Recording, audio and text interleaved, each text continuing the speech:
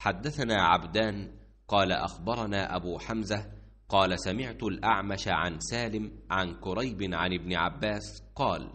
قالت ميمونة وضعت للنبي صلى الله عليه وسلم غسلا فسترته بثوب وصب على يديه فغسلهما ثم صب بيمينه على شماله فغسل فرجه فضرب بيده الأرض فمسحها ثم غسلها فمضمض واستنشق وغسل وجهه وذراعيه ثم صب على رأسه وأفاض على جسده ثم تنحى فغسل قدميه. فناولته ثوبا فلم يأخذه فانطلق وهو ينفض يديه.